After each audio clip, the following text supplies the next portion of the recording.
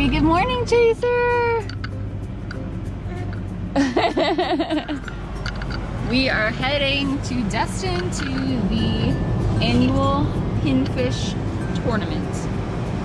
And it's one of our favorite events every single year put on by the city of Destin, which just so happens to be where I work.